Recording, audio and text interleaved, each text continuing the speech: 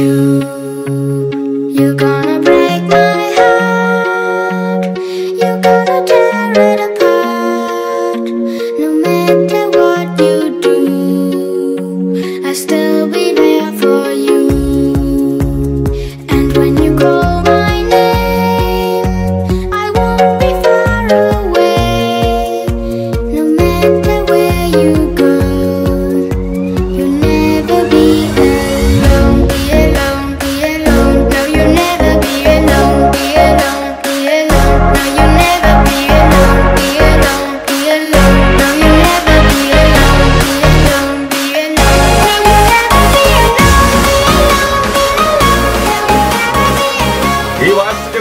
കർത്താവിന്റെ അധിവാസത്തിനും ഈ ദേശത്തെ ഭൂവിടെ നാമത്തിന്റെ മഹത്വത്തിനുമായി പിതാവിന്റെയും പുത്രന്റെയും പരിശുദ്ധാത്മാവിന്റെയും നാമത്തിൽ ഈ ഭവനത്തിന്റെ വാതിലുകൾ തുറന്നു വയ്ക്കുന്നു.